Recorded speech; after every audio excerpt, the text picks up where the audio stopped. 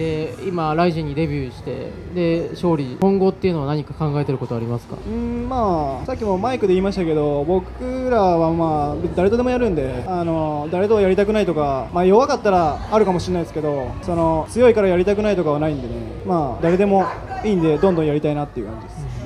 わかりました。誰とでもっていう話だったんですけどあの例えばあの日本人のあの日置選手みたいなあの過去あレレジェンド級の選手とこれからの例えば海外の強豪とっていうとどっちかとやりたいって言ったらむしろどっちがあります？うーんそうですね。まあとりあえず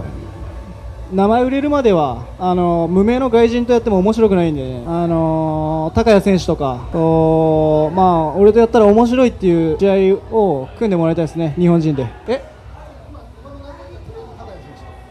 まあ、高谷選手とか、まあ、川尻選手とかでも大丈夫です。別に俺は別に誰でも大丈夫です